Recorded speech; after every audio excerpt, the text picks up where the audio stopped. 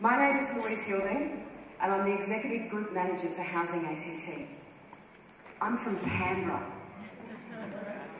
Canberra is not a bubble. It's the home of the Ngunnawal people, who have been there for thousands and thousands of years. And I'm very privileged to call Canberra, Ngunnawal country, my home, and I thank the elders, Yep. the Ngunnawal elders, for welcoming me and my family to the place where I belong. So I'm delighted to be here, delighted to be a facilitator uh, for this exciting closing session. Before I welcome our first speakers, well, we've got, we've got all sitting here on the stage, um, I do need to acknowledge our sponsors. So first of all, thank you to the support of the Northern Territory Department of Local Government, Housing Community Development as our official host partner. Jamie, thank you to you and your team for a fantastic week. Thank you to our platinum partner, the Department of Social Services, to our gold sponsor, who are presenting the think tank this year. Thank you to Civica. And thank you also to our two silver sponsors, Mission Australia and Community Housing Limited. And of course to all the other sponsors and the terrific conference exhibitors. I'm hoping you've all got your passports stamped, locked and loaded and ready to see who actually wins that. There's something, there was a prize, wasn't there, Michael? Yeah, yeah, yeah. Michael, Michael will get to that later. Um, and so this morning's closing session, Four Nations, Perspectives from Ireland, New Zealand, Canada and Australia. We have a beautiful array of accents on this stage for you to listen to this morning. and, and Steve's just denying that he's Canadian, but that's all right. He hasn't got a Canadian accent. You can put it on first. It'll be. As you will have heard over the last few days, and indeed for a number of years, there is much debate around the need for a national housing approach to guide Australia's housing future. Whether this is through a national housing strategy or through some other mechanism to bring a cohesive approach to housing challenges. In planning this year's program, the Conference Organising Committee considered how best to address this question and how we as a country may be able to move forward in approaching our housing challenges. As we often do at National Conference, we don't just look inward, but we also look to our friends. We look globally, in other parts of the world, for examples of best practice. So to drive this conversation forward, the committee saw value in bringing together a range of perspectives and experiences to look at the big picture and how like-minded countries are tackling their housing challenges. In recent years, we've actually taken a lot of inspiration from Canada with the announcement of their national housing strategy at the 2017 AHURI conference, and yesterday from Margaret. Margaret Foch, she was fantastic with respect to their Indigenous housing solutions. I was also privileged to be part of the Canadian study tour for senior housing officials led by AHURI last year. We've got a lot to, lot to look at and a lot to take from um, the Canadian experience. So today we have invited another Canadian expert to our closing plenary to give us an independent appraisal. I love being able to speak from an independent point of view, Steve, of the latest on the implementation of their national housing strategy. From Canada, we welcome Steve Pomeroy, a housing policy consultant and senior research fellow at the Centre for Urban Research Education at Carleton University. Steve, going to give you a little wave. No, oh, I'm going to, oh, hang on. I was just going to get you to wave and then I'll get you to come up as I go through.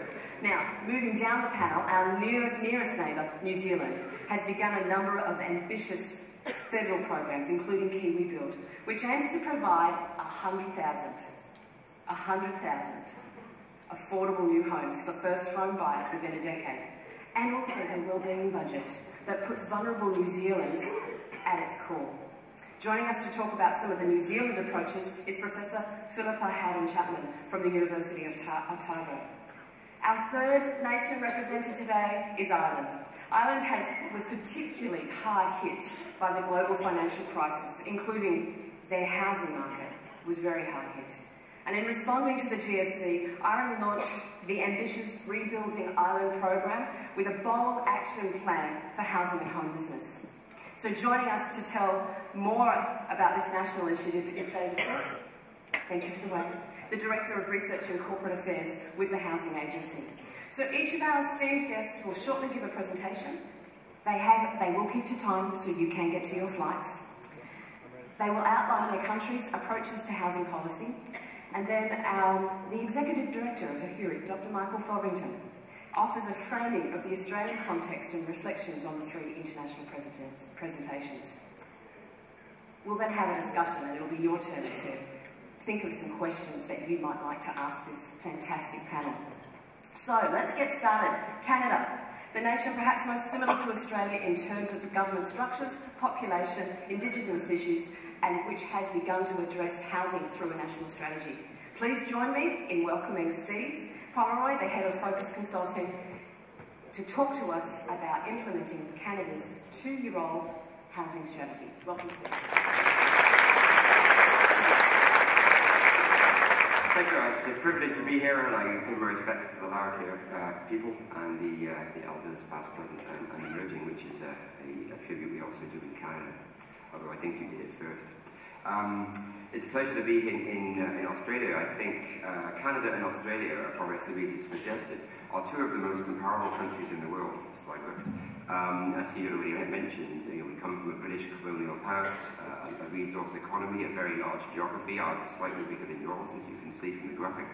Um, the most interesting thing, I think, is that we're federating states uh, and an interesting dynamic uh, between the two levels of government, which I've heard lots about uh, this week uh, previous visits. Um, our housing tenure is remarkably similar, although there's some subtle differences in our social housing stocks, very close to yours about 5%. And similar to what Peter Morris mentions on, uh, on Wednesday, um, that number has actually come down in relative terms. It used to be at the peak of about 6.5%, um, because we haven't done much for the last 20 years. The rest of the housing sector has grown, of course, and it's actually is around up to point uh, to five is actually 4.7. Uh, so it's um, has been declining. One of the key features of our, our, our uh, housing, uh, social housing system, which is about 600,000, just over 600,000 homes, the original third, as there was the case here in Australia, uh, was public housing built by our provincial housing uh, corporations or agencies with funding from the federal government, tended to be fairly large developments of fairly concentrated property. Um, and we reacted against that in the mid-1970s and essentially said if large-scale concentrated property with bureaucratic organisation is bad, small-scale community-based must be good. Uh, I, I paraphrase a 300-page report, but that was kind of the key message. Um, the, um, and, and, the key feature of that system, so the community housing sector is two-thirds of our stock, and it's a very significant and important voice in advocacy, which has been very significant in the development of the National Housing Strategy. And the key characteristics of our system is we basically funded everything with 100% financing. Uh, the, uh, the, revenues that were generated from rents at, at 25% of households' income were not sufficient to cover the operating costs and repay debt. And as a consequence, we had long-term operating agreements of 50 to 35 years, depending on which program it was, um, which had started to expire about four or five years ago.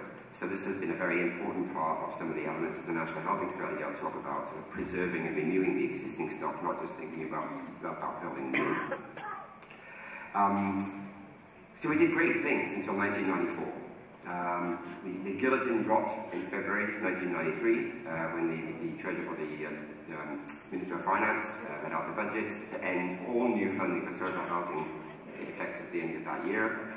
Um, and not surprisingly, similar yeah. to the graph that Peter Morris showed the other day, uh, we saw a rise in the um, gone, yeah. Uh, we saw a rise in the levels of housing need and a significant increase in the level of homelessness across the country.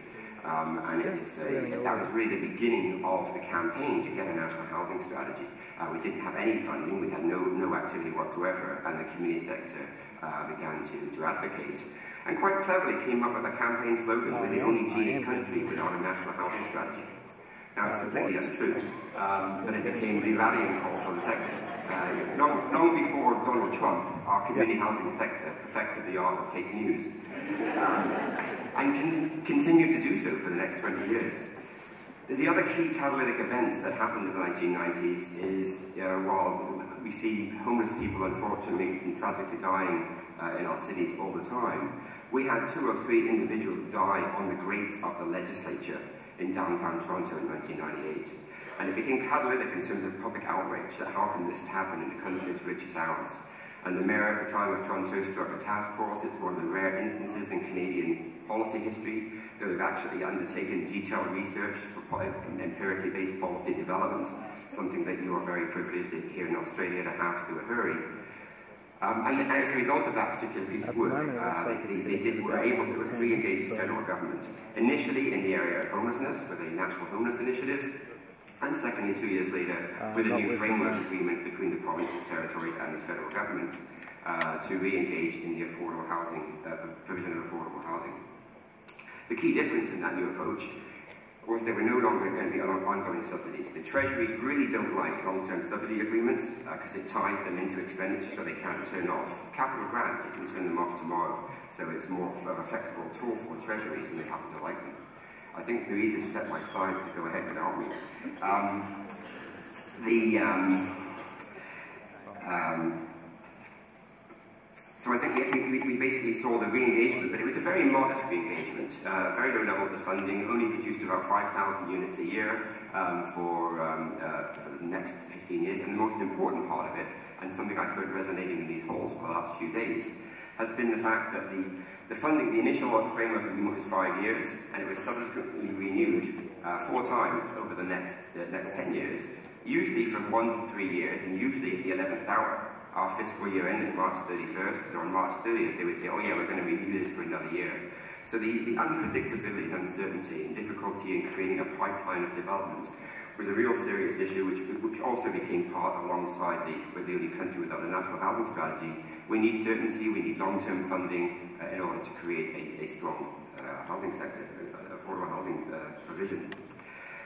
And after 20 years of doing that, um, the, the, writers of the Liberal platform in 2015 wrote it right into the election platform. Uh, as uh, um, Justin Trudeau uh, likes to like to say, the sunny days had returned. Um, everything was going to be great under this new Liberal government. He, in his letter to mandate letter to the minister, he directed him to um, to, to re-engage the federal government in a significant way in, in, in addressing uh, the affordable housing issues, and that began the process of creating a national housing strategy. And we went on an extensive consultation period. Um, I think the official uh, slogan was uh, Let's Talk. Um, there's a little bit of editing on this slide where I modified it slightly because I think we did too much talking. Um, and, it was a very, very extensive consultation, which in some respects is good. Um, but I think we got very much into the weeds and spent a lot more time than we really needed to. And, and I think had we had the, the AHURI app, we could have probably figured out in about five minutes what the priority should have been. But we took a year and a half to do it and, and came up with these ones. Um, the, uh, the most significant was distinct need. Essentially, issues of affordability uh, uh, were, were, were, very much central to the strategy, and indeed we see in the elements of the National Housing Strategy addressing affordability issues is the key, key direction.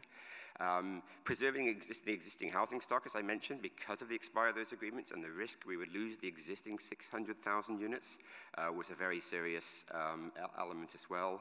And then some, some mention of the, the, the broader housing system, although I would argue the way it's rolled out, the National Housing Strategy is very much an affordable housing strategy. It's not really a comprehensive strategy in terms of addressing issues in the marketplace, which can have knock-on effects back into the affordable part of the system as well.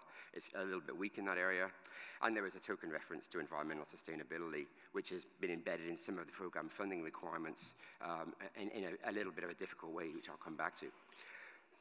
the, um, the, the, one of the things we have noticed over the last four years is we've been inundated with announcements and re-announcements and press releases uh, about how great this is. The first ever national housing strategy, which kind of like the slogan isn't actually true. Uh, the largest expenditure we've ever seen on, on housing in Canada, um, which, well, we'd never done a 10-year spending plan before, so of course it was the largest one we've ever seen. Uh, but on a year-to-year -year basis, wasn't really that much more than we'd had in the past. Um, and while there was a fairly serious engagement with the provinces and territories, I don't think they were really treated as an equal partner. And an important part of that is for the last 30 years, most of the new delivery, uh, both before the, the re-engagement in 2001 and subsequently, was delivered through our, our, provincial and territorial housing agencies. The federal government was very much a passive investor, very much on the sidelines, completely lost its expertise, corporate memory, and knowledge. And indeed, the folks that were developing the national housing strategy, who I was asked to go and advise, um, as I sat in the room with these folks, there wasn't a single person in the room who had been in the housing field for more than four years. Uh, and maybe that brings a fresh perspective, but it certainly brings a lack of history uh, and understanding of what can and can't work. So I think we, don't, we didn't really rely to the extent we could have done on the, on the accumulated expertise and capacity that existed in our, our housing organizations. So the National Housing Strategy set out two overarching goals. Reduce housing need by 50%, which is just over a million, so 530,000 households, and reduce chronic homelessness by 50%, uh, uh, both over 10 years. So relatively ambitious. I think the advocates in the homeless area have suggested we could have actually set a goal of ending chronic homelessness completely, not just 50% reduction. And I don't think that would, be, would have been overly ambitious, but it certainly does set the bar reasonably high and require us to therefore focus on uh, resourcing the plan to meet those targets. So how are we going to do that?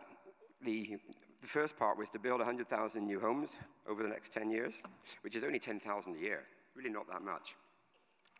Um, the rest of it, though, most of our problems in Canada, as is the case here, are issues of affordability.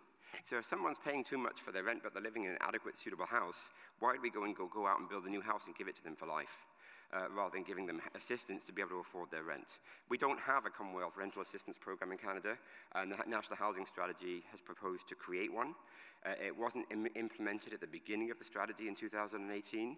It's, it's uh, scheduled to start in uh, next year, uh, April 2020.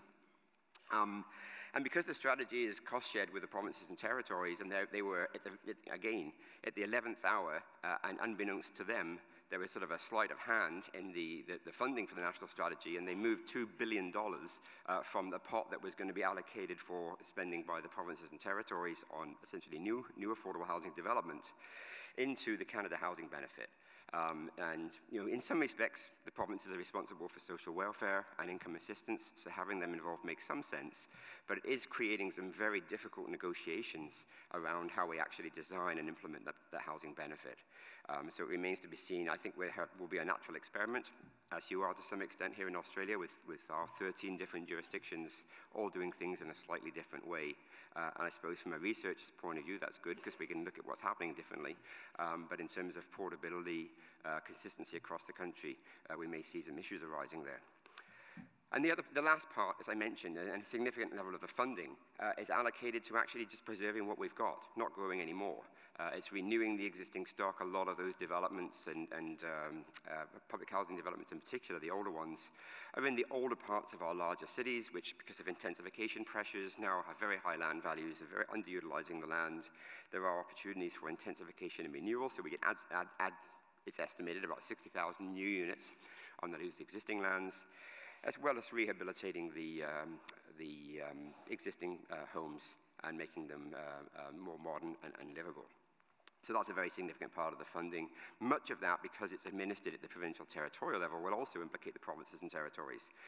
And, and, sort of, I suppose it's a bit of a scathing indictment uh, of the implementation of the strategy that, you know, four years on, uh, we still haven't negotiated bilateral funding agreements with two of the 13 jurisdictions. Uh, it took us 15 months to negotiate with the first 11.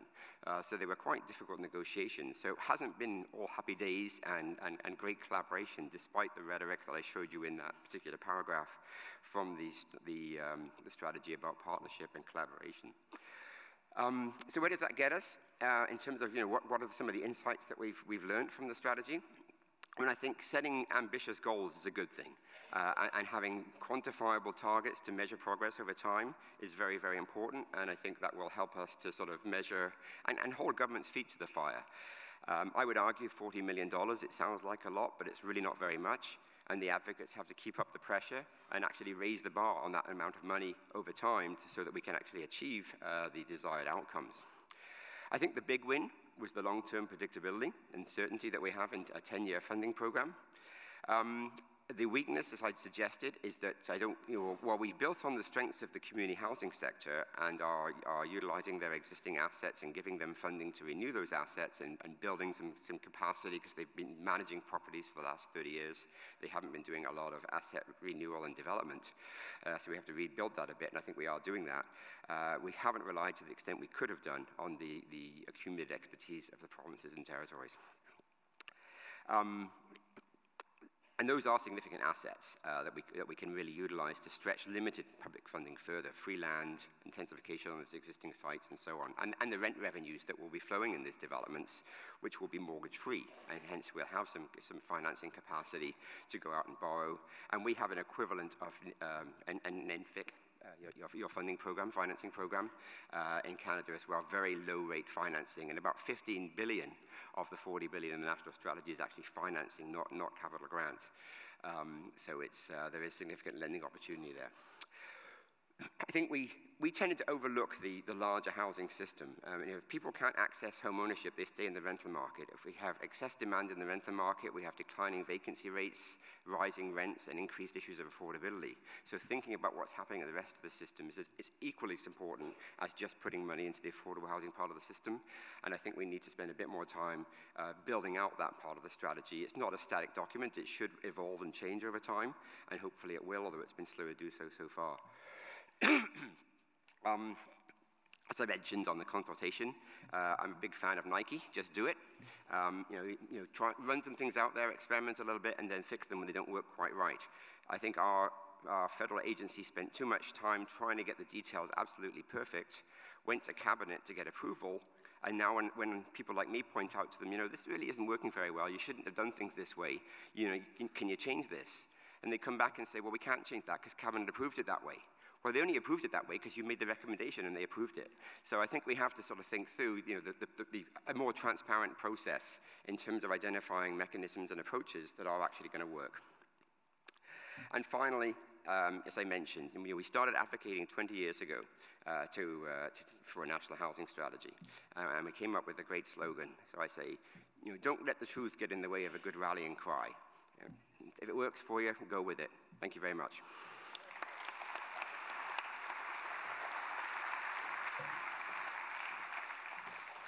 Fantastic. Thank you, Steve.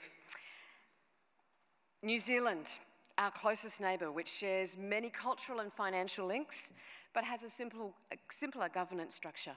Please join me in welcoming Professor Philippa Howden Chapman, Professor of Public Health at the University of Otago, to talk to us about rebuilding public housing in New Zealand, and in particular, how her team's randomised community trials in partnership with local communities provide evidence to inform housing, health, and safety. Welcome.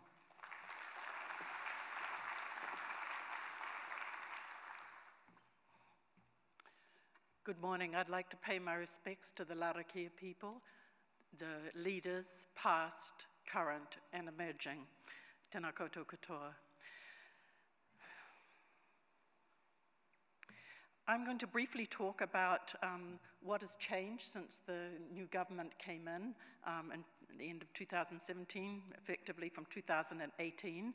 I'm going to um, take a brief departure from what is very similar colonial history across the, all the countries that you are here today to talk about the role of research um, and what that's played um, directly and indirectly in housing policy. And then I want to give you um, a discussion. I'm going to focus on Housing New Zealand, on the, on the creation, the revitalisation of public housing in New Zealand, and before concluding. When the government came in 2017, one of the top issues was the state of housing in New Zealand. We had an uh, unprecedented rise in homelessness in particular, which really disturbed people. Um, and I was asked, along with two of my colleagues, by the incoming um, Minister of Housing, um, um Minister Twyford, to do a stock take of New Zealand housing. And the books of the government were opened up, uh, and we were asked to say what we thought were the key issues, not to create policy, obviously, but to have informed evidence making. And there's a number of points along the side, which I'm not going to go into, but basically, the situation was not too dissimilar from um, Canada we had a major decline in home ownership. We had, a, um, as you'll see at the bottom there, a rise in homelessness, work that my group did from the census and census of um, people who are emergency housing. One in 100 people were um, in insecure or homeless housing. Um, rents had risen, the number of affordable housing had dropped, and there was a general um, consensus that we needed to have a, a, strong strategic policy going forward if we were going to make any difference. Just as we know when we put on weight, it's very easy to put on weight with all the nice food here, but very hard to take it off. Once you start to get on a trajectory of problems, it's very difficult to deal with them systemically. Um, one of the areas that concerned many of us, particularly in public health, um, was that Maori and Pacific, um, the main migrant people to New Zealand, home ownership had declined um, rapidly compared to um, European home ownership. Um, and that's, I walk past that every day going to work. Um, and that's the kaianga, the house with the warrior in front representing that they're the people who own the land. Private rentals are older. They're built often before there was any building code whatsoever, and they were less stable. We had very, we had very lax um, uh, rental laws. And a growing number of older people um, did not own their own houses. Now, um, um, Louise mentioned that I'd, we'd done a number of um, randomized controlled trials that had had an influence nationally and internationally. You'll be pleased to know I'm not going through them. I'm just going to highlight the, the areas that they, um, that they addressed. Insulation, retrofitting insulation, proper heating, injury prevention, reducing mold, doing what can be done for a household where there's about to be a newborn child, doing everything we know that works to try and stop those children going to hospital. Secondary prevention, once the child is in hospital, what can we do to remediate the homes, our warm homes program, um, well homes program, and also giving older people um, vouchers to make sure that they don't suffer from fuel poverty. And then a quasi experiment, we tried actually to make some policy to regulate our rental housing better. Um, the Warm Up New Zealand was a result of the work that, partly the result that we'd done on insulation and heating. And um, th this is consider, I consider a really great um, success story of how research evidence, robust research evidence, can have provide an evidence base for policy. Because both the, both the um, national government that was then in power, as followed on from the, uh, the national government followed the policy with modifications that the Labour Green government had done previously and continued this retrofit insulation program, had a huge publicity campaign, and um, my husband's an economist and he did some very useful um, uh, cost benefit studies with very broad um, benefits and found that the benefit um, cost ratio for insulation was four to one for the general population and six to one for children and for adults. Now, actually, I, wanted to make a, one um, point going back there. Um, oh, it doesn't matter. Uh, the, coming out in the agenda, um, the AUT um, publication, you'll see a comparison of the policy, because we're a unicameral government, there's only one house, um, between us and the project that you had, program that you had, your shovel ready program run by the Rudd government, which was ended up pretty disastrously, whereas our one has continued as one of the bipartisan successful policies in New Zealand because it's grounded in local initiatives and people who knew their communities well. Um, just to update this very quickly, we've now gone back and looked at this program um, with now a quarter of a million homes, and you'll see, those of you who are familiar with um, reading these, just a minute here. Hmm. Is, this the, is this the pointer? Yeah. Um, here, oh, sorry. um, you can see here, this is the, if it made no difference, it would be this line here, but you can see all the results here. This is work done by a doctoral student of mine, um, shows that there's very effective reductions um, in hospitalizations, greater for cold-related things, and most interestingly, Pacific peoples who live in the poorest housing and elderly gained the most benefit. These are very important um, information to feed into the policy agenda. Likewise, mold. We found, um, along with our Finnish colleagues who we worked with, that when children were in homes where there was mold, which we measured very carefully, they were more likely not just to have worse respiratory systems, but to develop wheezing and asthma. Uh, this is the NEST study where we went into the homes and we said, okay, let's do all that we can, um, and we're, we're, just producing the results now. We, present, we sent in local builders to fix up falls around to prevent, fix up homes to prevent falls, and you can see here that had um, huge benefits, um, just very simple actions. And because we've got ACC, we can measure what effect those had. And this is the electricity vouchers and the well homes. And one of the things that we've done is we found that um, children move around a lot, and when they move around, it affects their um, behaviour and their education. So one of the things that Housing New Zealand is doing is having more stable um, policies. I won't talk about this except that we tried to get, a, um, get particular councils in a, in a, natural experiment that was luckily gazumped by the um, residential tenancies when the government came in. The residential tenancies, what's called the Healthy Home Standard. And they built on, um, on the work that we and other colleagues had done on heating, insulation, ventilation, moisture entry and draft stopping. And so this is a real improvement in the rental standards in New Zealand where most people on low incomes uh, and, and actually most children grow up now. Um, I, I, at the same time, I was chairing a WHO committee on the housing and health guidelines, which I don't think we've heard anything about in the sessions I've been in. In any case, it was not very popular where this gentleman, Mr. Mike Butler, who was stopped the war on tenancies, um, and um, when it came through, he said, who has done this? And it was the WHO, so we were, I was quite proud about this. So this is the, the guidelines that um, are, are supposed to influence policy and hopefully will be adopted by countries around the world.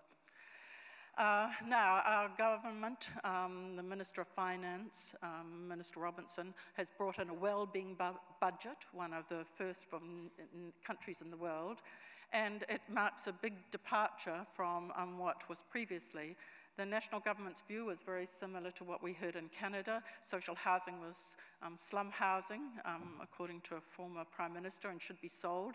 Um, the Labour-led government, and they did sell quite a lot, uh, Labour-led government reaffirmed the right to housing and the role of state and supply. So this is a departure from the things I was talking about retrofitting, where both Labour and National agreed that it had merits.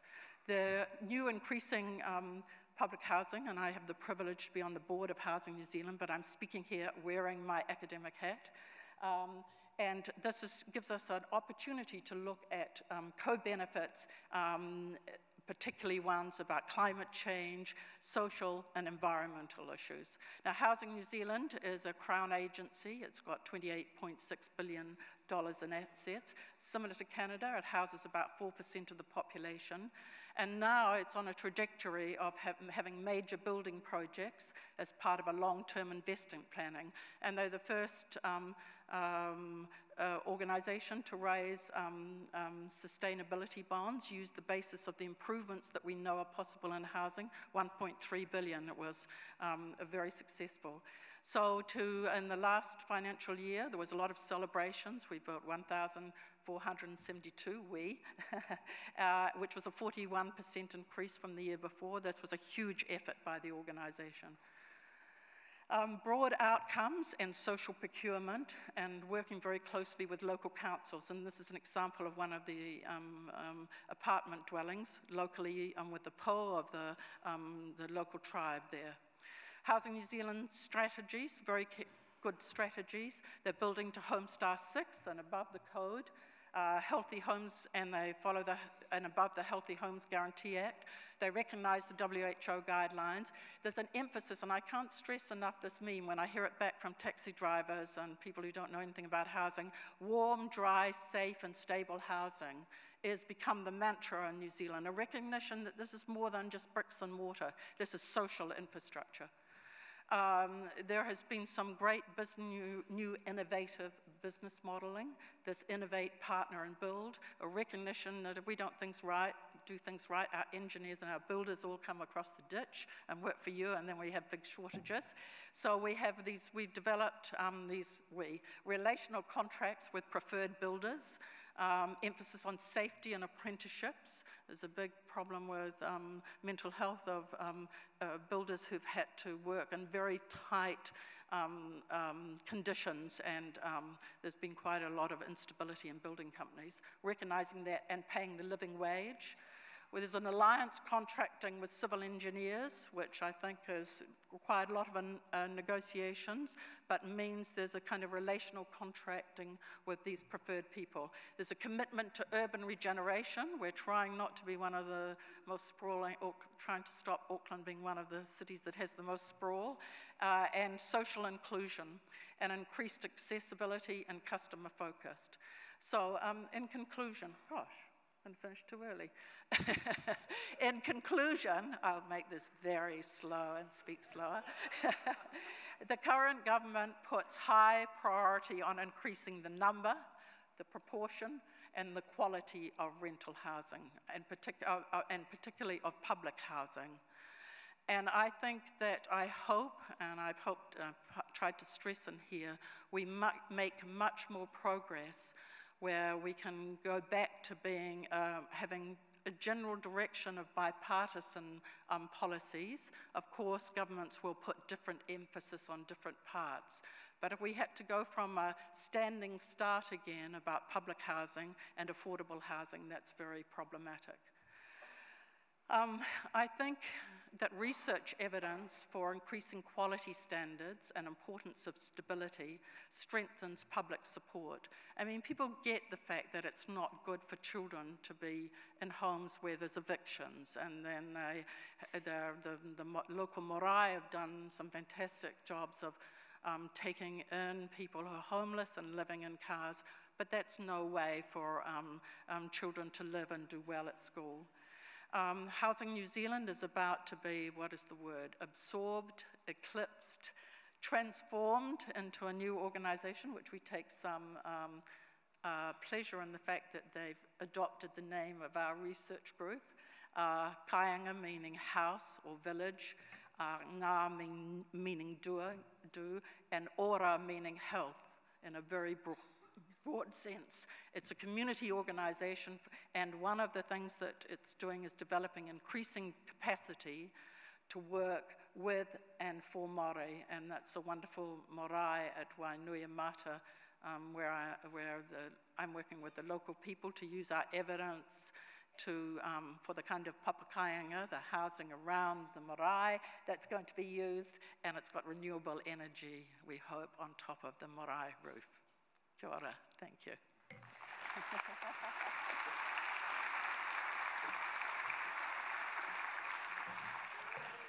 Fantastic.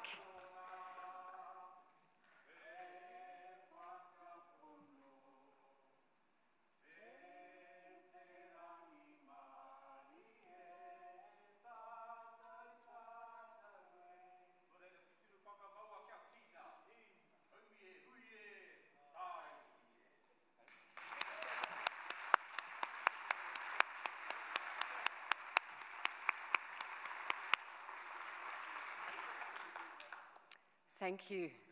Philippa, that was fantastic. I love the evidence, the research base that um, New Zealand bases its policies on. I'm a policy wonk and I, I want to come and work for you. All right, Ireland. No, a nation heavily impacted by the GFC that was, has responded through a strong focus on economic and social benefits of addressing housing at a national level. Please join me in welcoming David Silke, Director of Research and Corporate Services Housing Agency Ireland, to present Ireland's approach to housing and affordability supply, Rebuilding Ireland, Action Plan for Housing and Homelessness. Welcome.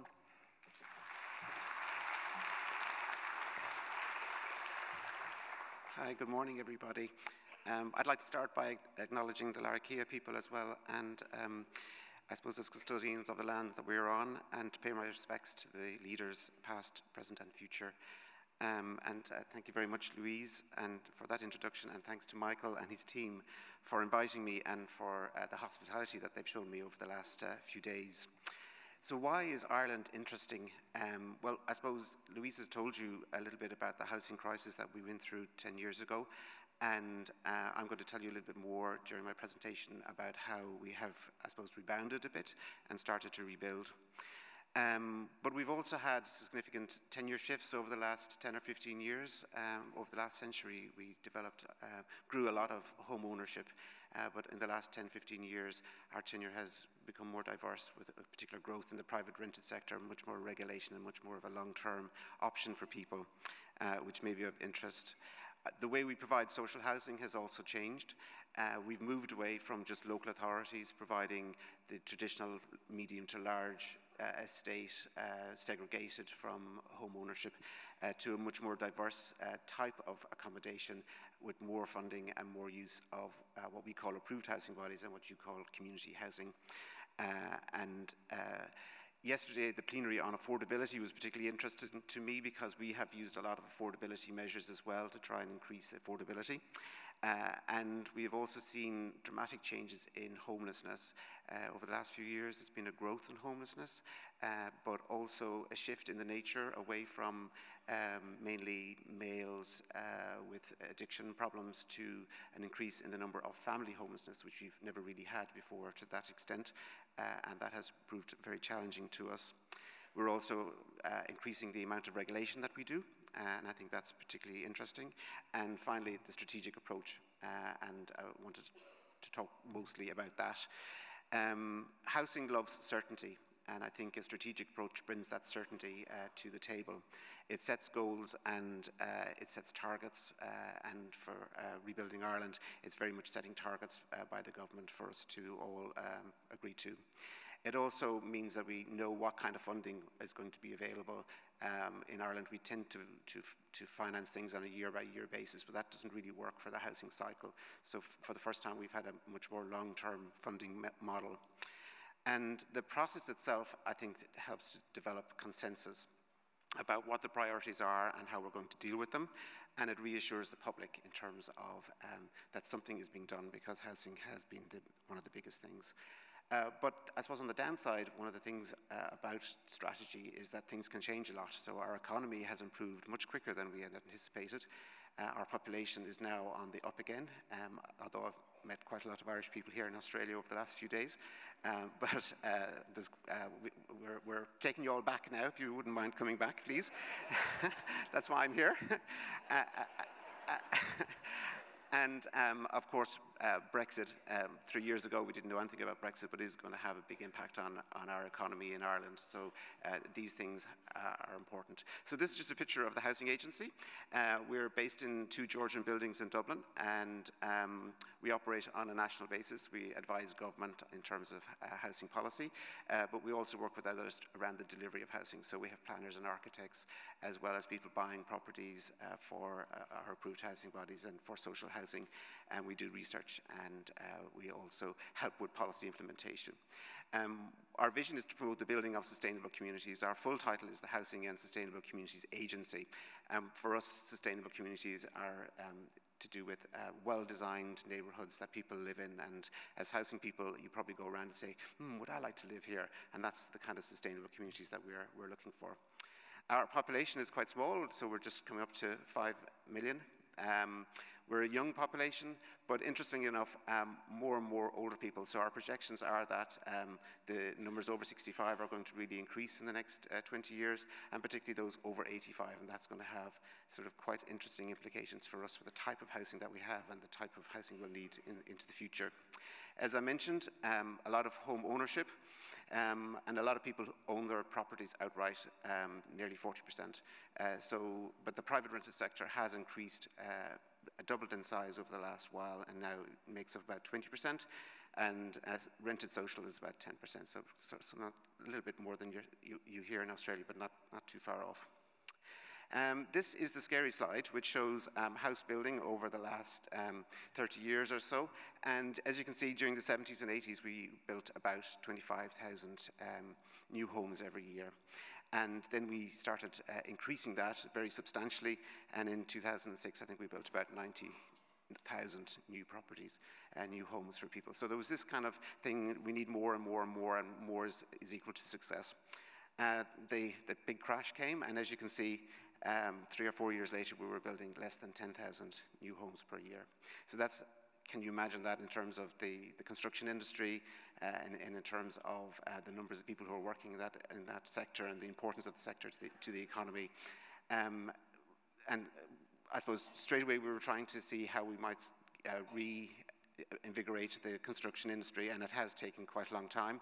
Under Rebuilding Ireland, which I'll be talking to, to you about in a second, our plan is to try and get that back up to 25,000 um, new homes per year, and we're nearly there. Next year, we should be, we should be back onto the 25,000.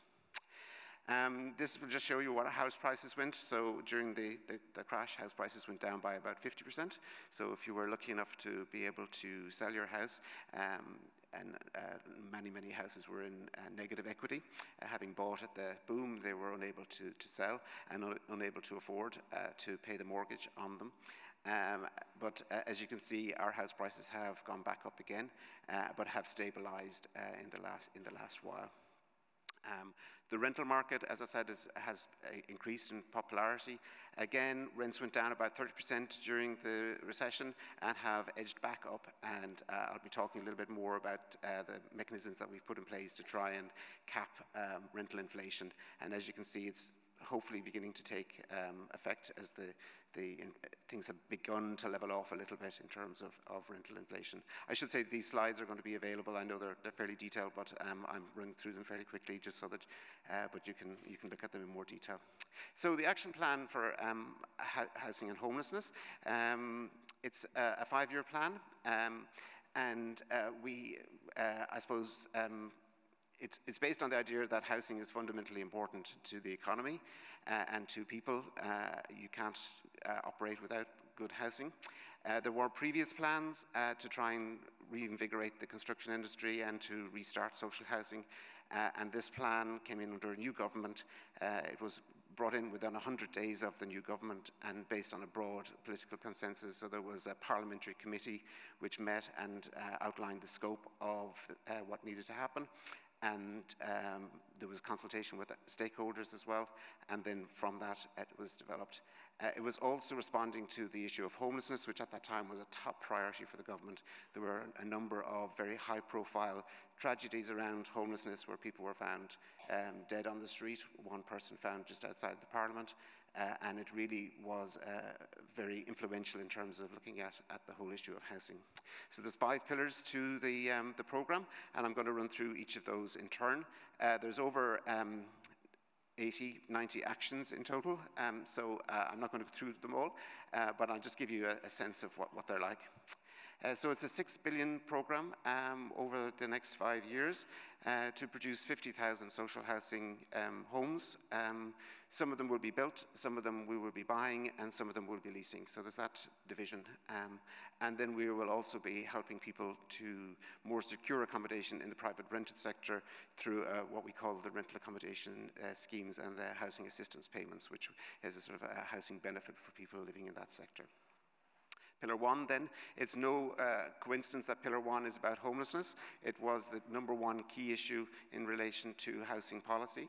Um, and here's a, a, list of the types of responses which are in the strategy around a rapid building program, um, which hasn't actually turned out to be that rapid. Um, um, because of mainly because of procurement, uh, which isn't rapid at all. If anyone's involved in procurement, I, I, I bow to you. Um, we operate under very strict EU um, procurement rules, and, and so uh, the rapid build program is only just getting going now, but once it does get going, it, it hopefully will be more rapid. Uh, we've also um, uh, introduced Housing First for homeless people. This is mainly for people who are chronically homeless, and uh, the National Director, Bob Jordan, I think, came over to Australia recently and was talking to some of you about the programme. In the housing agency, we've been buying properties for the Housing, housing First programme, and it's, it's, actually very challenging to find the right types of properties uh, for that group of people and making sure that you have them in the right locations and that, that they suit people's needs. Um, also under Pillar 1, just to draw your attention to the mortgage to rent scheme, we have a particular problem around mortgage arrears, particularly for people who bought during the height of the boom. Uh, so there's a substantial a number of people or a number of mortgages that are in arrears of more than two years. Uh, and as part of the prevention program around homelessness, uh, there's a, a, mortgage to rent where you can um, sell your property to uh, a, a, community housing um, and become a social housing tenant staying in your own property. Um, we're helping to operate that scheme and uh, it is beginning to have an impact in terms of making sure people don't become homeless. Uh, pillar two is around uh, increasing the supply of social housing. And as I mentioned, um, uh, the, the, plan is to uh, develop 50,000 uh, uh, social housing homes uh, over the next few years. The program is working quite well. Uh, it has worked quite well in terms of acquisitions uh, and leasing, and the building program is now up and running. Uh, some local authorities are finding it more difficult to get their building program going again because uh, during the recession there was no building program. Uh, but the community housing sector has been very um, forthcoming in terms of the building program and there's a, a, large number of sites operating at the moment. The Housing Agency uh, has a 70 million euro revolving fund, so the government gave us 70 million, thank you, and uh, we're using that to buy vacant properties uh, from banks uh, that were uh, uh, abandoned or were repossessed due to mortgage arrears and we are buying them and then selling them on to the community housing sector and to local authorities. We get the money back and then we go out and buy again. Um, I suppose the, the value of that is that as a national agency, we can go to the banks and buy a portfolio of properties in one go and then uh, sell them on to different people in packages uh, that suits their requirements. Uh, we're also regulating the community housing sector. Uh, up to now, that was on a voluntary basis, uh, but it will be on a statutory basis shortly. The legislation has been um, published on that. Pillar three is around more homes. So this is um, getting back to the delivering 25,000 homes per year. Uh, and we have a whole um, ream of, of different ways in which we're doing that. One of the ones I wanted to talk to you about was planning reforms. Um, planning was identified as one of the um, difficulties in relation to uh, getting access to uh, new homes, and uh, we introduced a new scheme where property, uh, where developments over 100 units uh, could go straight to our national planning body An Bord Pleanála rather than going to the local authority, and it would fast track through the planning system, and that has been working uh, quite well, and it's now up for review. Um, to see if we will extend it for another uh, two years. Um, so uh, pillar four is around the, um, the rental sector. So um, as I said, this uh, increased in size, doubled in size over the last uh, 10 years. Um, big issues around standards, uh, which probably won't um, surprise anybody, uh, but new standards have been introduced and are being um, applied by the local authorities. We have a residential tenancies board, which is set up as a statutory body. Uh, it regulates the rental sector. Um, all uh, tenancies are registered with the residential tenancies board, and they deal with any uh, disputes between landlord and tenants, uh, either through um, adjudication or through uh, mediation. Uh, and um, they also have a rent index. And we introduced rent pressure zones. So these are areas where there's been rent has gone above uh, inflation of 7% in four of the last uh, six quarters uh, and is above the national average. Um, so as you can see, mainly around Dublin and the commuter counties around there, um, around Cork in the south and around Galway, which would be uh, a big student uh, city uh, and has a lot of pharmaceutical industries as well. So uh, those are going to be in operation for the next uh, two years, and it means that rents can't go up more than 4%.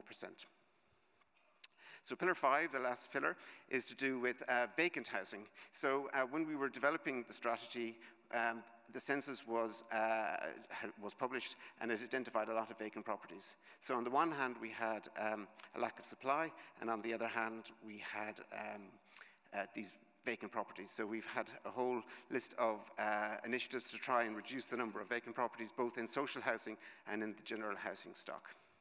So that's Rebuilding Ireland. Uh, looking to the future, uh, we have a national planning framework. Uh, so we're now looking to 2040. Uh, we expect the population to grow by uh, a further million people over that period of time.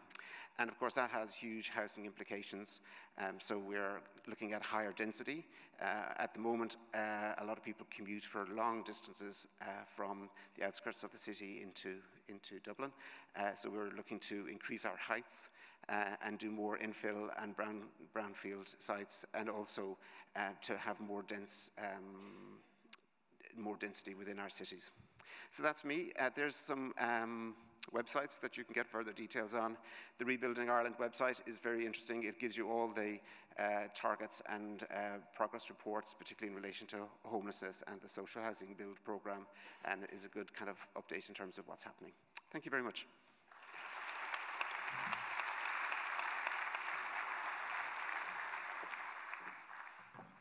Thank you, David. Our final speaker today um, is Dr. Michael Fotheringham. A reoccurring question this week that Michael, no, we'll leave it, we'll wait for later for the, later for the questions. A reoccurring question this week Does Australia need a national housing strategy? What approach should we actually take? We have the current National Housing and Homelessness Affordable Agreement, which recognises the role of the Commonwealth and states and territories in addressing homelessness and housing affordability. However, states and territories are largely accountable. Is it enough?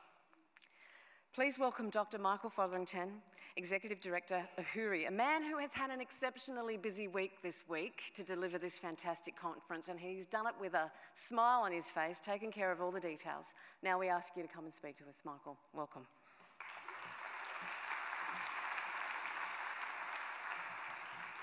Thank you, Louise. Look, I realise I'm about the 207th speaker at this conference, and we're getting close to the close, so I'll, I'll try to keep my points a bit short. Um, I also realise we've spent about the last two and a half days, or most of the week, talking about housing in Australia, so I don't need to be too comprehensive at this stage. Um, many better speakers than me have sped, said smarter things than I could possibly hope to. So I'll get to the point um, and let you all get into the discussion with our, with our international guests. I'll simply provide a few framing questions, a bit of the context, and perhaps offer a few uh, provocations for the discussion with the panel. So, a national approach to housing.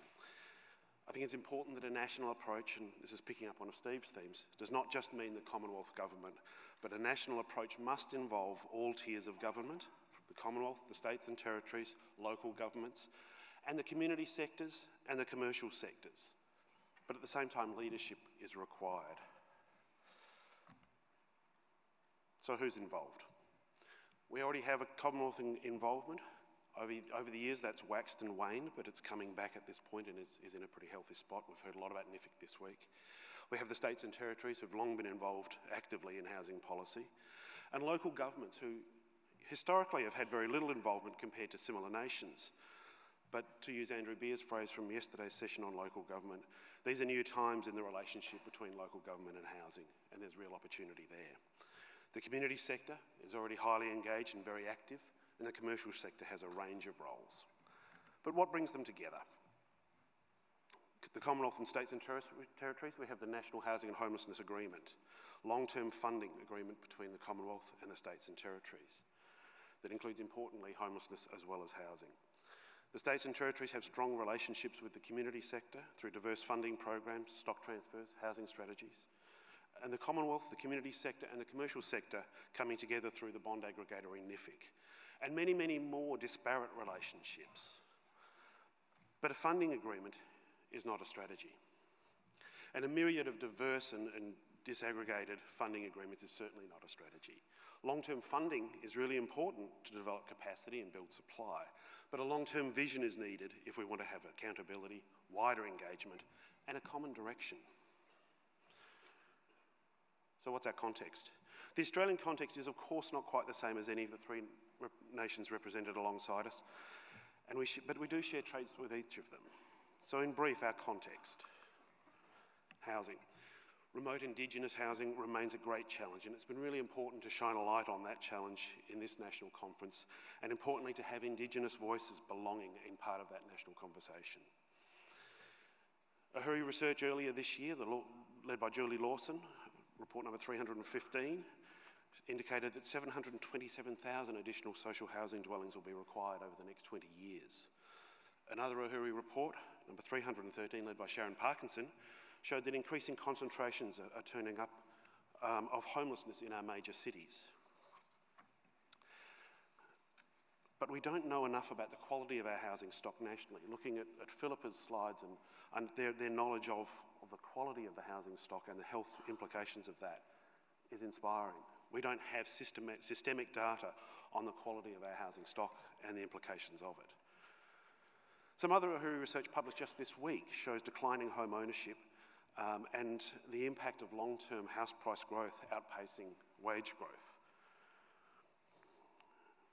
Our, once again, population context. We have rapid population growth in, in OECD terms, very rapid population growth in Melbourne, in Sydney and in southeast Queensland slower growth, growth elsewhere. And that pace and that distribution of growth leads to some real challenges for infrastructure and leads to discussion of a national settlement strategy. Infrastructure Australia released an audit this month, um, which importantly recognised social housing as a key part of infrastructure and one that is facing significant challenges and which impact the whole of housing markets right across the continuum. We have a, a, slowing economy with historically low rates, and the use of low interest rates to stimulate the economy is reaching its limits. It does offer productivity advantages and value for money uh, opportunity to commence delivery of housing at scale through counter-cyclical investment. But Reserve Bank Governor Philip Lowe this month suggested that to the Standing Committee on Economics that rather than mon monetary policy, infrastructure spending and policies that support business growth are what's needed. The federal government is engaging with cities policy in new ways. Smart cities discussion has, has evolved into a staccato program of city deals across the country. We have increasingly complex governance of our cities, with the city deals and regional deals, organisations like the Greater Sydney Commission taking new roles, alliances of local governments popping up in, in major cities, uh, and local government peaks being more active, the ALGA, the National Growth Areas Alliance, the Council of Capital City Lord Mayors and others. We see committees from Melbourne, Adelaide, Sydney, and a raft of other cities emerging, which began as New Age chambers of commerce but are now evolving into much more. And they're starting to collaborate with each other. So many of these alliances and peaks and, and intergovernment deals are, are taking an interest in housing, and individual local governments are doing more and more in that space. How do local government affordable housing strategies align with state affordable housing strategies? It's a bit like the population projections in this country, where the national population projections are not the sum of the state and territory population projections, which in turn are not the sum of the local government population projections. So we're all planning for different futures. To bring it back to housing, though, housing and cities are not disconnected issues. State governments are recognising this. In Tasmania, we have a Minister for Housing who's also a Minister for Planning. Same thing coming up in Victoria now.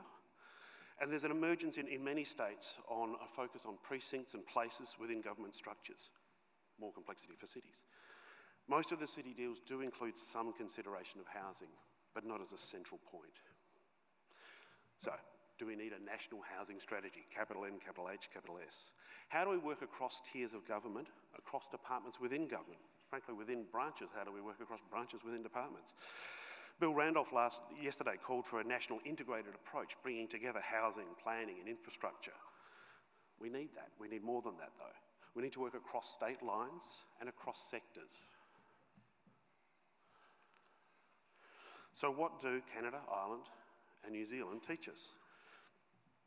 So observations from the, the three speakers and my scans of their nations.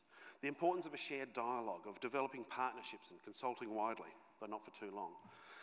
The importance of boldness, of having ambitious but achievable targets, and targets that are measurable.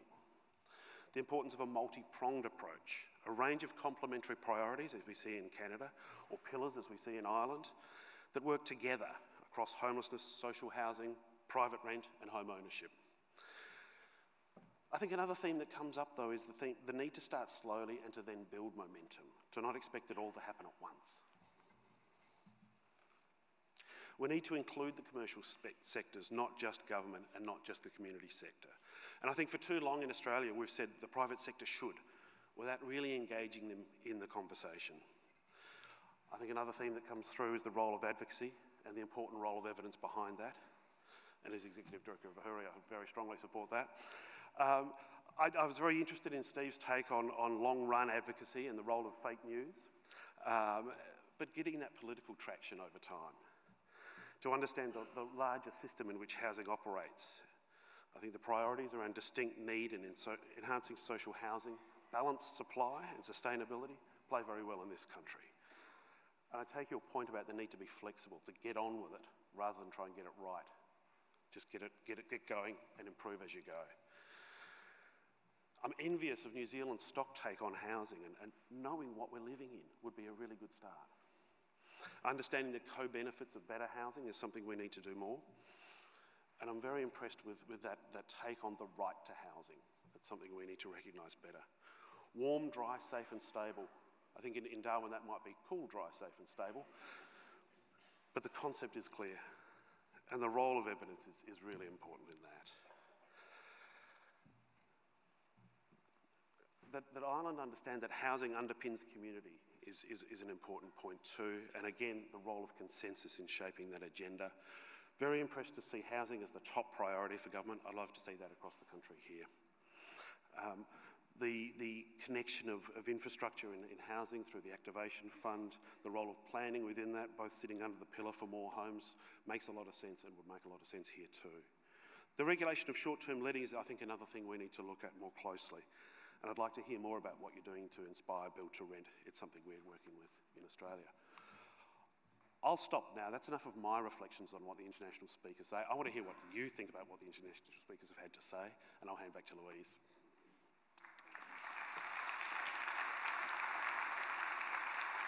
Thank you, Michael. Well, now it's your turn. Um, get out to your device and send through your question. We've got about 25 minutes. Um, and it's your chance to ask this fantastic panel some really poignant questions about um, what we can do here in Australia. So while you're getting your device out and formulating your questions, I'm going to, I'm going to kick off with the first one. And this is to the whole panel.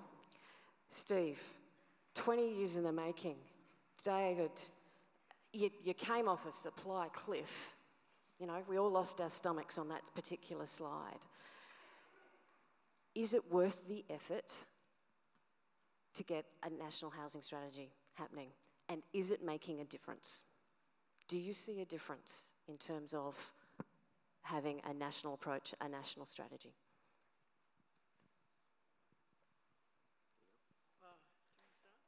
Sure, I'll give it a shot. Um, I think it's very early days for us. So, I mean, the jury, I think, is still out on that. Uh, the, you know, the, the implementation of a strategy is, is, is, more difficult than actually designing the strategy. And certainly when you're, if, if it's a, a heavily supply-based strategy, we know it takes three or four years uh, to actually go through the planning process, get into construction, get the financing, get the thing built, and get it occupied. So, you know, the, the fruits of your labor are, are, are, somewhat delayed in that respect. But I think, uh, you know, for us, uh, having the strategy, it, ha it has gotten very strong attention at all levels of government. It has given us a, a modicum of financial commitment. And as I mentioned, the, the, the that long-term commitment and predictability, I think, is really, really key. And I think that respect, that's probably the, the greatest benefit of the Canadian strategy. We'll, we'll see how things continue to roll out.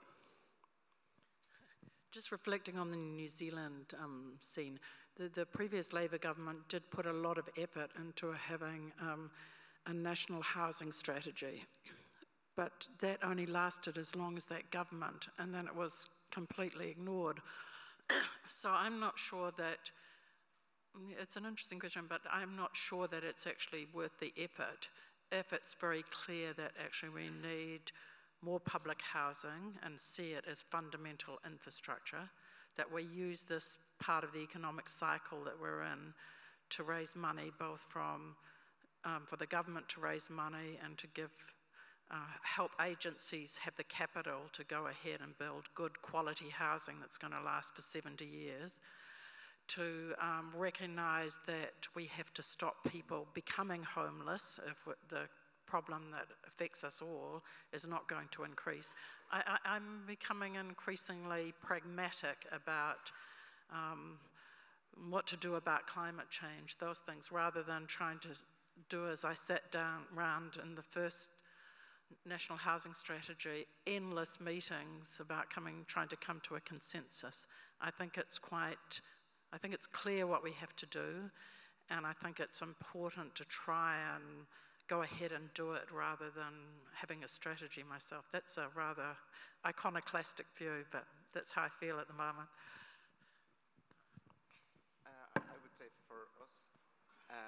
Rebuilding Ireland has been really quite crucial in terms of setting the framework for what we're going to do we were in such a big mess that um, it, you know, we really did need a plan in terms of how, what, what are we going to do first and how are we going to tackle such a huge issue. So going from a situation where you had 90,000 homes being built to 10,000, um, going from a situation where you had uh, thousands of empty homes around the country uh, to a situation where you had housing shortages in the cities. Um, we needed some sort of plan to try and um, sort out what the priorities were and all of the actions in the programme are um, tagged to a quarter and tagged to a resource and tagged to uh, somebody who's responsible for implementing them. Uh, and the minister then meets with, for example, the local authorities and says, what are you doing about your building programme? And he goes through around the table one by one and they have to have their homework done. So there's a lot of count, uh, accountability around the strategy, but it also means that the minister can then go to the Minister for Finance and say, I need this money to do these actions and it provides the, the arguments for that. So because the strategy was agreed by the government, it's not just the Department of Housing strategy, it's the government strategy. Um, the Department of Finance have to be on board in terms of implementing it. Uh, so it, it, it, it, creates that consensus. It also holds the government to account as well by the opposition parties who are saying you're not doing enough about this, this and this, and you, you know, you, you, you're falling behind on certain targets. So it does, it, it helps every side in, in terms of that. Um, and going out from the core strategy, there have been other strategies developed around the rental sector, around vacant properties, which you know means that we, you then have um, further developments and further actions going out from the, the core strategy. So the big thing for us will be what are we going to do when we get to the end of 2021 and Rebuilding Ireland is essentially finished um, and we'll have to think about where we're going then in the longer term. Absolutely. uh, I, I, I, was thinking, actually, what's happened in New Zealand with the well-being budget really, in some ways, if it works, and if people um, commit to it, it, it it's almost supersedes strategies for individual sectors.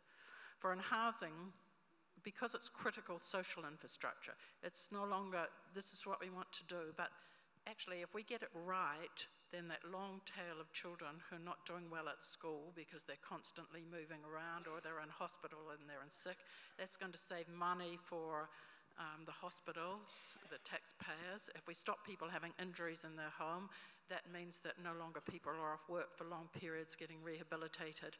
And, and likewise, going through all the sectors so that it, it, it changes the nature of cabinet debates about, I want more money, you know, that great public policy um, dilemma. Everybody benefits, but nobody wants to pay for it under their individual strategies. So I, I think um, it, it, I think it's heroic that we're actually trying to do it because we're a unicameral government it's kind of easier. I worked for once for the Melbourne, and they went. Uh, they used to say, "Oh, it's a federal problem," and you know, or a state problem, and were, that was the argy-bargy at the beginning. So we do have the advantage of a small scale, but I think it's a pretty heroic experiment.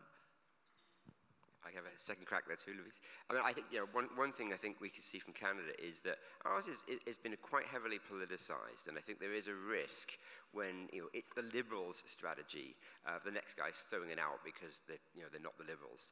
Uh, and, so I, and I heard a term thrown around this room a number of times this week about a, bipartisan approach. So I think it is critically important that as part of the process that it is truly bipartisan and truly, truly multi uh, uh, um, intergovernmental, and that the lower levels, uh, in our case the provinces, are actually engaged as equal partners, not as guys to come along and sort of follow what the federal government does. So I think it's it's, whether you have a strategy or not is not as important as how you do it and, and how you frame it that way. Fantastic. So, this question's from Chris Chaplin. He said, Well, what makes a national housing strategy so difficult in Australia compared to Canada, New Zealand, and Ireland? Michael, do you want to start with this one? Thanks, Louise. I'm not sure that it is more difficult here. I mean, Steve talked about 20 years of advocacy of uh, truth telling of a form. That's right. I mean, we're, we're, not 20 years into that argument. Um, I hope it doesn't take us 20 years. You know, I think you know, the, the glossy document is, is, is, nice to have and, and, is useful, but what is more important is that coordination of effort and, and having a, a shared objective and, and working collaboratively across tiers and across sectors. We need that now.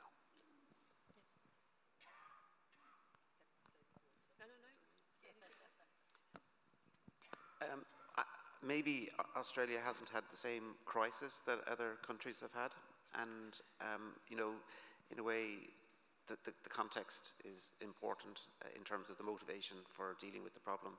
Um, so, you know, taking Darwin as an example, you know, um, it was devastated uh, in 74 and, and rebuilt. Uh, if it hadn't been devastated, would you have that high rise in town now that, that, that you have? Uh, you probably wouldn't because pe people would just probably just keep building out and, and so on. Um, so, you know, because you have a crisis, it is an opportunity as well to reset things uh, and, to, and to change things. So, um, while I wouldn't encourage you to have a housing crisis, um, you know, it, it is important to think about the context as well. Yeah, it's interesting you should put it that way, David. I mean, you know, I talked about the deaths on the streets, on the, on the, uh, the legislative grates in Toronto in 1998, uh, and I think, you know, that was our crisis uh, in, in, many respects. And I think, you know, sometimes you've got to sink pretty low before you can, uh, can react to those kind of things. So it's, you know, it's, it's scary in some respects, but, you know, falling off the cliff, um, is, perhaps what you have to do before you can actually realize we, we could have actually put up a fence and, and been preventative. And I think we're, we're learning a lot from the uh, you know, responses to homelessness. Upstream prevention, as opposed to waiting till people are homeless and then trying to house them, is clearly much more effective. So if we can kind of take some parallels from that and say, okay, how do we apply that in a policy sense? And you know, can we get around the politics uh, and, and, and, cre and, create something that is going to actually be an effective uh, you know, roadmap for the future on, on a bipartisan nature? Um, I would like to add to that. I mean, we had um, similar problems and very acute and very worrying ones. But what happened in New Zealand, I guess, is um, like that great book by Mariana Mazzucato called The Entrepreneurial State. It gave an opportunity for the state to say, of course, we want to work with the private sector and particularly the community sector and Māori iwi who are a growing part of the economy, but we want we want some coordination through the state. Not that we're going to preclude the community sector, but we're going to take the lead in terms of raising money and, and thinking of innovative ways to get bonds and so forth. So it reinvigorated the state in a way in which um, previously it was understood that the state should be a night watchman and step back and let um, the private sector work. Here we see that there has to be a, now we're seeing that there has to be a very strong partnership and it has to be with local government. Um, so in, in a sense we're resurrecting some of the things that happened after the war where there was local government housing and state housing and private housing. So um, yeah, I, would say we're a very interesting example of an entrepreneurial state at the moment. And we are the size, of course, of an Australian state. Thank you. Um, so we know the importance of collaboration. We know the importance of bringing all sectors together to, to work um, for housing outcomes. But the strategies, David, strategies, it's your minister sitting around with your um, officials that seem to be held account. And then there's targets. Who should own those targets? Who should own the strategies? Do, is, is it more than just government that should be accountable? Um, yes, I mean, uh, there are certain targets set for the housing agency uh, in, in Rebuilding Ireland, which we've been working on, um, and very much we own those targets. Um, and the, the, the, department and the minister will hold us to account, and our board hold us to account on a monthly basis in terms of how we're working towards particular targets, be they completing things within certain times or buying a certain number of properties. Um, the local authorities certainly own their targets and um, they're very much kept under um, uh, control, monitored by the department and by the, um, the minister in terms of reaching particular targets. Um, it is difficult sometimes because um, you might have a target and uh, you know you, within Rebuilding Ireland the overall target is being met but individual deep down targets. This one might be just a little under, and this one is a bit over to, to, to balance it.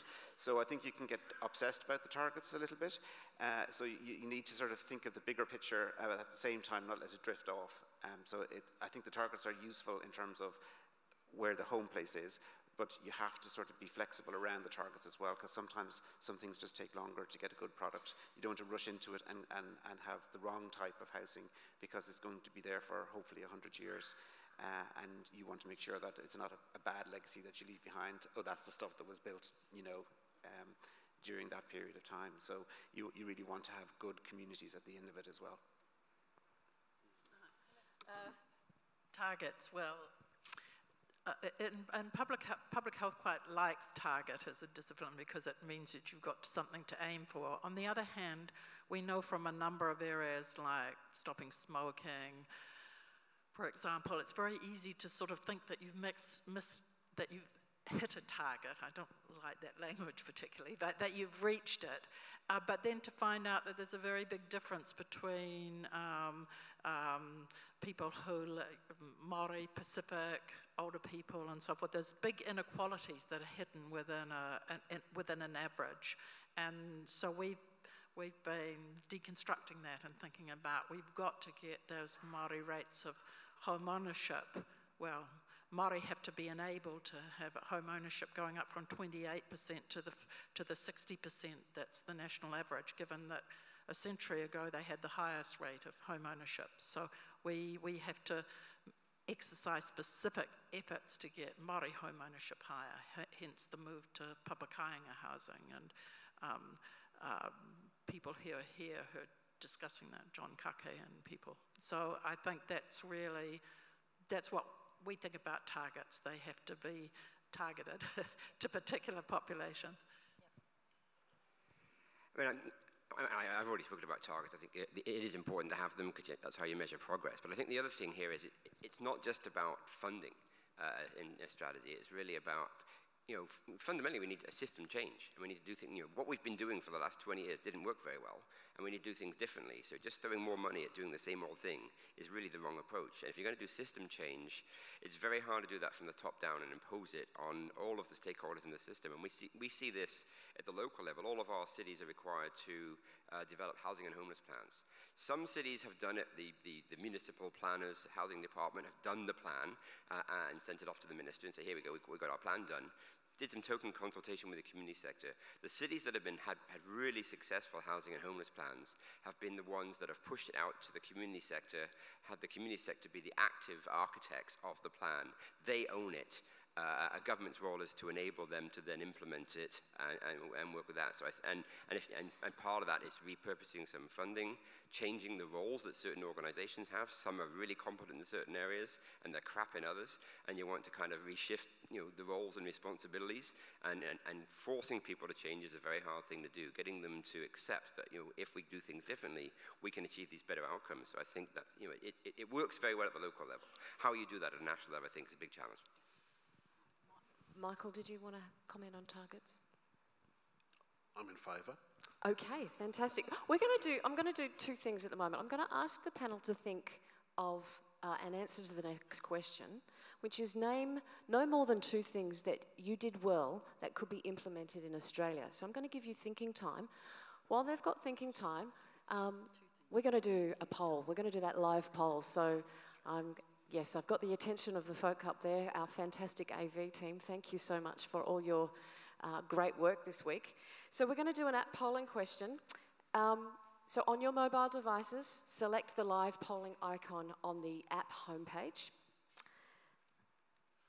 And we should have a question, look at that, coming up on the screen there. So the question is, the main benefit of a national, housing, a national approach to housing is, number one, Consistency and certainty for financiers.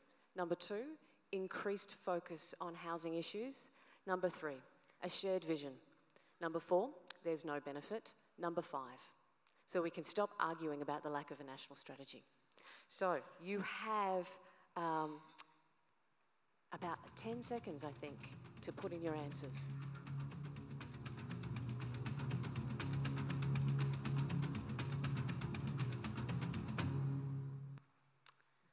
Have a look here. A shared vision is just nudging increased focus on housing issues. You know, there's an old proverb that says, write the vision plainly so that everybody can run hard and actually deliver it. So there's some, there's some um, wisdom in that. Back to our panel. What two things? Do you remember the question? Yeah? Okay. Name no more than two things that you did well that could be implemented in Australia. Okay, so um, I suppose the first thing is making sure that housing is the key priority in government. So um, within our system, housing and health are in competition with each other for uh, the, the, the, big ticket. And uh, at the moment, I think housing is, is winning in terms of getting that, that attention from government. And uh, all of the government departments are, are behind uh, making sure that housing works uh, because uh, the Department of Employment will tell you that we need housing to, to be economically competitive. The Department of Health will tell you that we need housing to make sure that we can um, have healthy environments for people. Education will tell you housing is so important. Uh, we, we need to increase student accommodation to make sure that we can accommodate uh, foreign students coming to Ireland, etc. So everybody will talk about housing. Uh, it's a little bit of a national obsession. It's coming in second to the weather uh, for us. Um, so uh, that, that's been really important. That's number one, that, that's uh, at a high level. Um, I suppose sec the second one would be that um, we have tried lots of different things. So, we, you know, when it comes to the planning system, we've tried lots of different things in terms of affordability. We've tried lots of different things. So, we're very open to innovation and there's a willingness around innovation. So it's not like we've always done it this way and we have to do it this way. Um, there's lots of innovation going on in terms of uh, dealing with different problems and an openness to look at what's working and what's not working and let's give it a go and see if it, see if it does work. So there's that, there's that open, I think the second thing that the strategy has, has brought to the table is kind of looking at there's more than one way to, to fix this, so we need to start and look at all the different things and see which one works. Thank you. Thanks. Um, well, the first one is a bit of a um, dilemma for me because I'm a reviewer of um, some AHURI um, research. And so I look at this all really good research, and I always say to people in my group, oh, go and look at what AHURI's doing. And yet somehow there seems to be a disconnect, and this might be my ignorance, forgive me, between the research that's done on AHURI and what, the, what is done in housing policy. So I, I, I I don't know why you're looking at me. Sorry. so I, I, I, do think one of the things that we are able to do in New Zealand, of course, it's size. It's um, we are able to um, have research evidence-informed policy. It's not perfect, but it definitely is a lively discussion about it. And actually, partly we do that by using the conversation in Australia to get things because we've got no reporters basically now, and they just pick up things that are done in Australia. So we haven't talked about the media, but I think we've got to use that more to be able to think about getting uh, the values, the common consensus. And, and the second thing I think that we've shown that is possible, um, we, that we have a um, renewed, renewed culture that the state is not um, in the way, but the state can actually help facilitate things without crowding out everybody else. And I think that well-being framework, to keep an eye on it, I think it's going to be pretty interesting internationally. So I would say the res research evidence informed policy and the renewed culture that the state can have a positive role. Thank you. Not just in war, yep. preventing war. Um, yeah, but before I give you my two, I'd say if you had changed the question on that poll from consistency and predictability for the community housing uh, providers, I, instead of using the word financiers, I bet you would have had a very, very different answer on that poll. Uh, no one wants to give the financiers more help, but they want to help the sector. Um, I think the two things we've done well, speaking of the community sector, is we spent a lot of time nurturing and building the community housing sector, and we had a series of seed grant programs to capitalize and fund technical resource organizations to help the small non-profit community organizations who had no experience in building housing to actually get it built and get those organizations started. So it was fundamental to building and subsequently growing uh, the community housing sector. So it's a really important part of our sort of earlier ecosystem uh, in, in growing that part of the the, sector. And I think the other thing that Canada is, is quite renowned for is a very effective uh, housing finance system uh, where our, our, federal housing agency, Canada Mortgage and Housing, uh, as the name suggests, so in the, in the mortgage business, um, they have they've since 1954 provided um, uh, mortgage loan insurance uh, to to uh, both homeowner loans and to social housing loans and rental loans, um, and that's enabled access to financing to be a very easy thing to do uh, and using the Crown borrowing facility in, in, in, under the National Housing Strategy, they are now back into direct lending and effectively doing the same things that uh, NHFIC's doing. Uh, we didn't have to create a new organization, we already had one, and we're, we're basically levering the expertise of them in, in, in, the financing space. So access to finance for us is not an issue. The subsidy gap is another question, but we're, we're good at financing. Thank you. You've given us so many questions up here, it's, it's hard to actually read through them all. But if I do a quick thematic analysis here, I think there is a comment that says, that sums up, I think, much of the sentiment in the room. Can we please just recognise that it's a bipartisan issue and just do it? Can you thank this fantastic panel that we've had here this morning?